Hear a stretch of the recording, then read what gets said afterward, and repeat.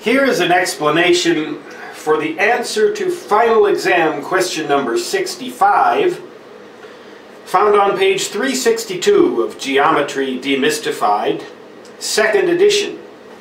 The relevant illustration, figure exam-14, appears on page 361.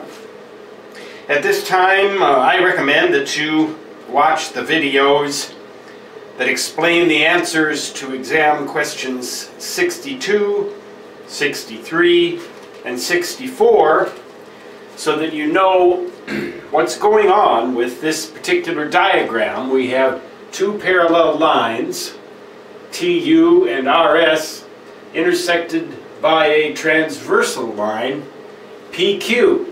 But these are actually cross sections of planes.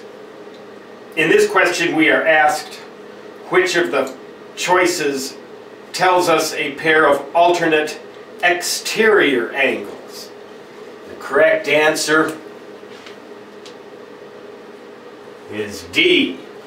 Angles PWU, PWU.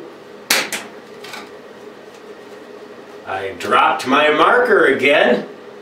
PWU. Good thing I have a spare and QVR. QVR, right here. That's what alternate exterior angles look like.